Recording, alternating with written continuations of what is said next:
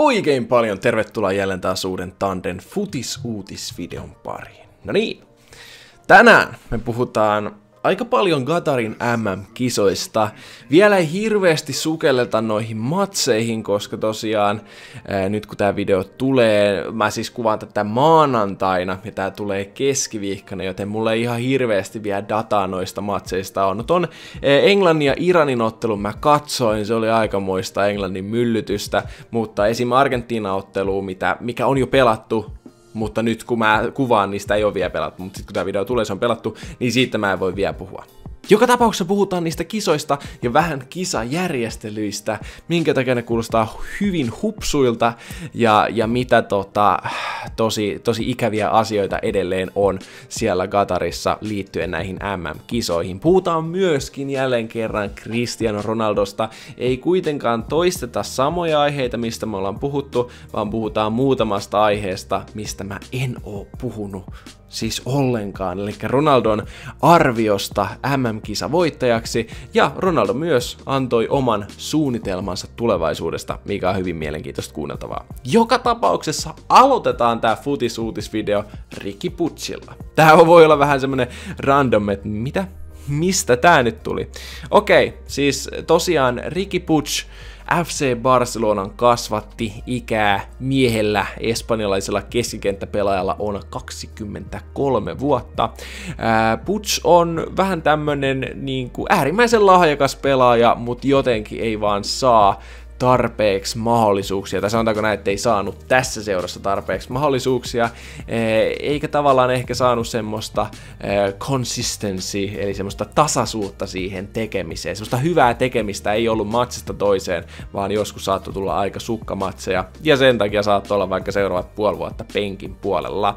Joka tapauksessa Ricky Putt siirtyi siis Los Angeles Galaxyin tuossa kesällä, ja on pelannut MLSssä kyllä eh, ehdottomasti edukseen, eli muistaakseni tehnyt, onko se nyt 12 vai 13 ottelua ja olisiko kolme maalia ja pari syöttöäkin löytänyt tai löytynyt sieltä tota, tilastoista. Se on, se on oikein mukavasti keskikenttä pelaajalle ja tota, Puts on ilmeisesti tavallaan lumonnut amerikkalaiset äh, fanit ja tota, Los Angeles Galaxy ei missään nimessä haluaisi tästä keskikenttäpelaajasta luopua, mutta let's be äh, tavallaan ollaan ollaan reiluja, eli tota, Putsin uran kuuluisi jatkoa ehdottomasti Euroopassa. Nimittäin MLS, vaikka se on totta kai silleen nouseva tota, liiga ollut jo useamman vuoden ajan, tai kohta voidaan puhua jo useammasta vuosikymmenestä, niin täytyy muistaa, että silti Euroopassa pelataan niitä kovia otteluita, Euroopassa pelataan ne kovimmat ottelut,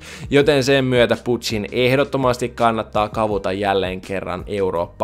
Ja yksi seura La Ligasta on tällä hetkellä hyvin kiinnostunut Putsista. Se ei ole Barcelona, eli Barcelona ei vielä tavoittele tätä omaa kasvattia takaisin, vaan se on Villarreal, eli äh, voi hyvin olla, että tammikuussa Butch pukee päälleen keltaisen pelipaidan Villarrealin merkeissä. Tosiaan hyvin mielenkiintoista on se, että Villarrealin tämänhetkisen valmentajana tosiaan on Kike Setien, joka valmensi jonkun vähän reilu puolisen vuotta Barcelonaa, tuossa olisiko ollut ö, 2020 vuonna. Ja Kike Setien hän nosti Butchin niin kuin avauskokoonpanoon ja piti häntä äärimmäisen tärkeässä roolissa, joten en yhtään ihmettele sitä, että Kike Setien haluaa jälleen kerran vähän niin kuin oman suojattiinsa tonne nykyiseen seuraansa. Ja niinpä saattaa olla, että tämmönen lainasiirto toteutuu nyt kesällä, eli Puts lähtisi lainalle Viarealiin, mikä tarkoittaisi sitä, että tähän lainaan sisältyisi myös osto-optio. Eli voi olla, että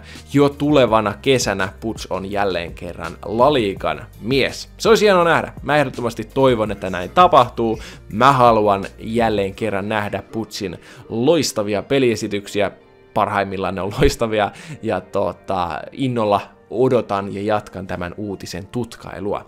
No sitten niihin muutamaan Ronaldon uutiseen, eli Ronaldo, mä en osaa puhua, Ronaldo antoi hieman omia näkemyksiä MM-kisoista ja ennen kaikkea MM-kisojen voittajasta ja myös omista mahdollisuuksista, eli Portugalin mahdollisuuksista voittaa tämä koko höskä.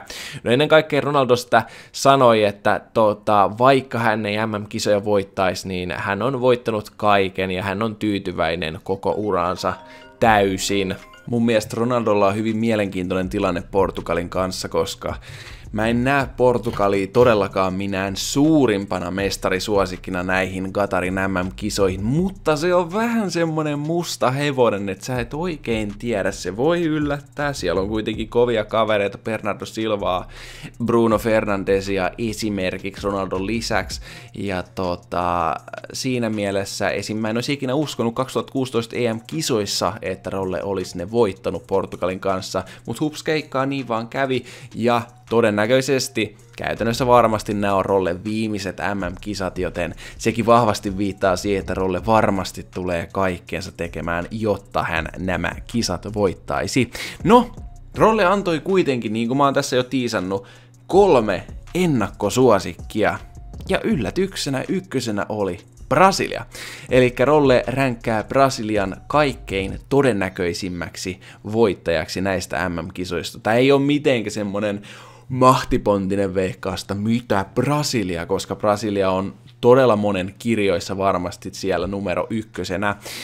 Toiseksi, tämä on, tää on musta, tämä on, tää on, tää on jopa aika tämmönen, anteeksi, tämmönen, siis, siis hieno veikkaus, nimittäin, no tääkin on hyvin mainstream veikkaus, mutta Rolle veikkaus, että ää, toisteksi suurin suosikki on Argentiina, eli tota, Lionel Messin ää, edustama maajoukkue, ja tää on suurta respektiä Messiä kohtaan myös samalla. Rolle tiedostaa, että Messi on hyvässä vireessä, tiedostaa myös, että Messillä on hyvä joukkue ympärillään. Toki Rolle voi tietoisesti luoda vähän painetta nyt vanhaan kilpailukumppaninsa tavallaan vanhalle kil- kilpailukumppanille, että hei, sulla on niin hyvä jengi, että nyt, nyt pitäisi melkein voittaa. Ja sitten kolmanneksi mestarisuosikiksi Rolle listas Ranskan, joka siis voitti viime MM-kisat. Mä en tiennyt, tai mä en tiedä miksi mä tein näin, mutta ehkä sen takia, koska tässä on kyllä, tässä on niin mainstream valinnat rollelta, ja sitten se heitti vielä niin kuin näiden jälkeen, että Saksa ja Englanti on kanssa kovia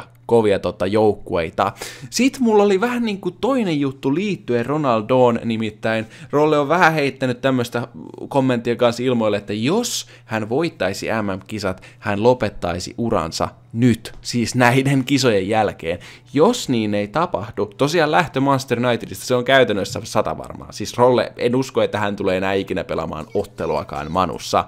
Rolle on tarjonnut itseään Real Madridille. Kuulitte aivan oikein. Eli Rollen vanhalle seuralle, sille kaikkein eh, tavallaan kauneimmalle kultakaudelle, mikä hänellä, tai kulta-ajan jaksolle, mikä hänellä eh, tota, urallaan on ollut. Eli siis Real Madridissa pelasi vuosina 2009-2018, taisi voittaa muun muassa neljä mestareiliikaa, liikaa, ja siis, oli, siis voitti pallon Dioreakin, varmaan joku mitä neljä, muistaakseni, siis Realin aikoinaan. Realin aikana siis. Ja nyt, koska Benzema on loukkaantuneena, Rolle haluaa tarjota tämmöistä hätäratkaisua Realille, eli ottakaa hänet, ja hän voi olla sitten ratkaisu Realin loukkaantumisongelmiin. Eli tota, Rolle tulisi puolen vuoden tota, sopimuksella Realiin pelaamaan, ja mä sanon, että miksi ei. Musta tää olisi niinku, taisi, oishan tää jännä. Rolle olisi Sportingissa, siirtyisi sieltä Manuun, sieltä Realiin, sieltä Juventukseen, Juventuksesta takaisin Manchester Unitediin ja Manchester Unitedista takaisin Real Madridiin, joten taisi, taisi hyvin jännä, että nämä samat seurat pyörii Rollen, Rollen ympärillä. Mutta silti sanoisin, että äh, haluaisin tämän nähdä, Rollen paluun Realiin. Saa nähdä, tapahtuuko sitä? Ei välttämättä. Jos tapahtuu, olen siitä iloinen. En tiedä miksi, mä en todellakaan ole mikään Real fani, mutta jotenkin taisi niinku tämmöistä jalkapallon romantiikkaa, voisiko näin sanoa. Hypätään päivän pääuutiseen, eli puhutaan näistä Qatarin MM-kisoista, niin kuin me ollaan puhuttu melkein joka videossa nyt, koska se on se tulisin ja kuumin puheenaihe tällä hetkellä totta kai jalkapallomaailmassa. Öö, mielenkiintoiseksi tässä kaikessa tekee sen, että vaikka MM-kisat on jo käynnissä, niin edelleenkään faneille ei olla saatu ö, tarpeeksi hyviä tämmöisiä fasiliteetteja, eli tavallaan ö, ei olla saatu tarpeeksi yöpymyspaikkoja, ö, ollaan luvattu kaikkia tenniskenttiä, kuntosaleja, vaikka mitä, ö, siis mun mielestä valkokangasta ja kaikkea. Et periaatteessa MM-kisojen ympärillä on vellunut se, että siis, siis maisemat tulee olemaan upeat ja tavallaan niin kuin, tosi hienot olosuhteet, mutta mut heikolta näyttää tällä hetkellä nimittäin ilmeisesti suurimmat osat näistä majoituksista on semmoisia halpoja parakkeja, semmoisia tietysti sinisiä, semmoisia, niin kuin monet fanit yöpyy tällaisissa parakeissa. Monet fanit on sanonut, että sängyt näissä parakeissa on ihan, ne on jo ihan siis kivikovia ja ne maksaa noin 200 euroa yöltä, joten poskettoman kalliita. Totta kai se pääasia on se jalkapallo, siitä ei saa unohtaa. M-kisat pelataan siellä ja sillä sipuli, joten siitä ei voida enää valittaa, mutta noista olosuhteista niissä olisi kyllä hirveästi parantamisen varaa. Ja toinen asia, mistä mä haluan ehdottomasti puhua, mikä kuuluu kuulostaa kyllä aika, aika tota, voisiko sanoa, että häiritsevältä. Eli ilmeisesti tarpeeksi faneja ei ole saapunut, saapunut Katariin, niin Katar on, Katarin valtio on palkannut omia asukkaitaan pistämään futispelipaitoja päälle ja tavallaan niin kuin maksaa palkkaa siitä, että ne heiluu siellä futispelipaidat päällä niin kuin tuulettelemassa. Totta kai suurimmat näistä palkkioista on nimenomaan niille, jotka heiluttaa Katarin maajoukkueen paitaa, koska nämä on Katarin kotikisat, niin Katar haluaa, että niin kuin tavallaan Qatarin faneja liikkuu ympäri maata paljon, mutta onhan tämä ihan järjetöntä. Valtio maksaa siitä, että niin kuin, ihmisillä, millä, mitkä ei välttämättä ole millään tavalla kiinnostunut jalkapallosta, niin heidän pitää mennä sinne tuulettelemaan ja tavallaan vähän niin kuin pitämään meininkiä yllä.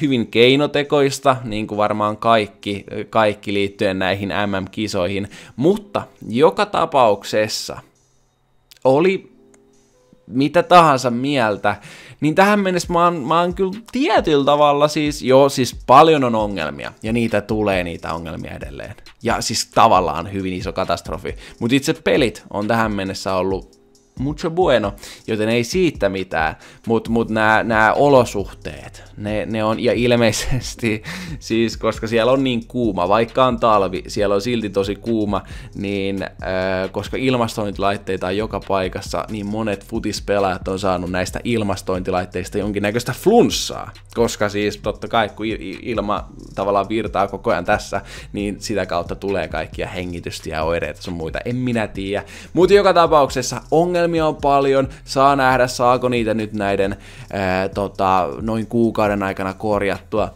Tuskin edelleen hyvin jännä makusuussa näistä kisoista. Kertokaa oma mielipide kommenteissa ja muistakaa nyt, jos ette ole vielä katsoneet, niin VSP Filmit kanavalta uusi filmi, eli leffa löytyy nimellä Syytön. Linkki alhaalla kuvauksessa suoraan siihen elokuvaan, jos ette ole nähneet, tai vaikka olisittekin, menkää ihmeessä tsekkaamaan ja, ja, ja näin. Nyt se on. Moi!